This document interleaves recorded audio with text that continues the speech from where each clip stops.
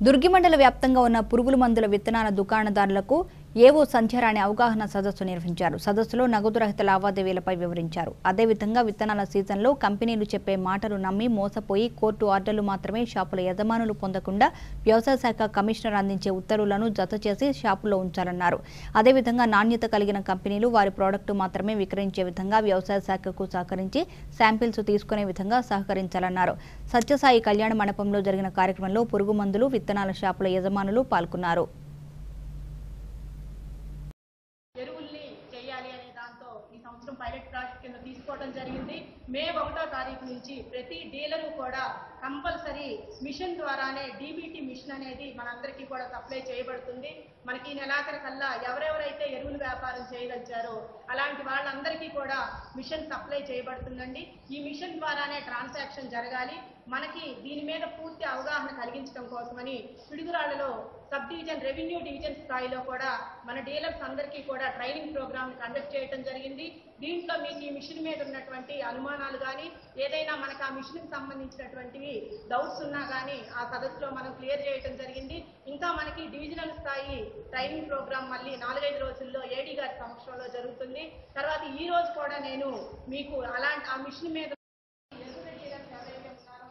కూడా ఈ సమావేశాన్ని ఏర్పరచడం జరిగింది తర్వాత మనకి ఎరువులు వినియోగమే కాకుండా పెస్టిసైడ్ కానీ సీడ్ విషయంలో కూడా కొన్ని కొన్ని మార్పులు అనేవి ఈ సంవత్సరం వచ్చినాయి కాబట్టి అవి కూడా మీరు అందరూ తెలుసుకోవాల్సిన ఆవశ్యకత ఉంది కాబట్టి మనం ప్రతి విషయాన్ని క్షుణ్ణంగా మూడు రకాలైనటువంటి వ్యాపారాలు చేస్తూ ఉంటాము.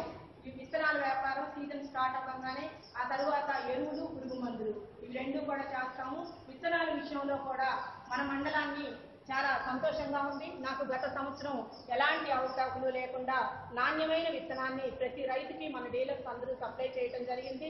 ఈ సంవత్సరం కూడా అదే స్ఫూర్తితో రైతుకి ఏది అవసరమో ఆయనకు నచ్చినటువంటి కంపెనీని మంచి విత్తనాన్ని అంటే నకిలీ విత్తనాలు అనేవి చిన్న చిన్న సంచుల్లో కట్టి ఇవ్వడం లేదా సేమ్ ప్యాకింగ్ కంపెనీ యొక్క ప్యాకింగ్ని మార్చి చిన్న మార్పు చేర్పుతో మంచి పేరున్నటువంటి కంపెనీ దాంతోనే నకిలీ విత్తనాలు వస్తూ ఉంటాయి. అలాంటి వాటికి కూడా ప్రలోభ పెట్టి అటు డీలర్ని ఇటు రైతుని ప్రలోభ పెట్టి వచ్చేటటువంటి ఏ విత్తనాన్ని కూడా ఇటు మిరపలు ఎక్కువగా ఏంటంటే తేజాలు.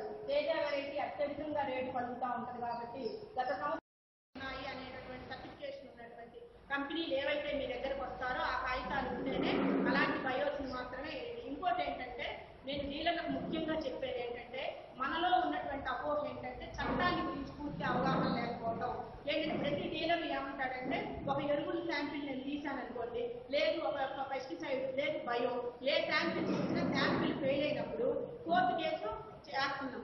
అది రూలు చట్టము ఆ చట్టంలో నేను కోర్టు కేసు వేసినప్పుడు డీలర్ని కోర్టుకు రమ్మంటే మన డీలర్స్ మాట్లాడే మాట ఏంటంటే పోయి మ్యానుఫ్యాక్చరర్ని అడగండి. అతను అతను తయారు చేశాడు నేనేమన్నా తయారు చేశానా? లేకపోతే నేనేమన్నా కలిపానా? అందులో నేను కలపలేదు కదా. ప్లస్ డిస్ట్రిబ్యూటర్ ఇచ్చాడు. మ్యానుఫ్యాక్చర్ నుంచి డిస్ట్రిబ్యూటర్కి వచ్చింది నాకు డీలర్కి వచ్చింది. నేనేమని పరిశీలించి దాంట్లో టెస్ట్ చేసి నేను అమ్మలేదు కదా. మరి అది ఫెయిల్ అయినందుకు నేను ఎందుకు కోర్టుకు రావాలి?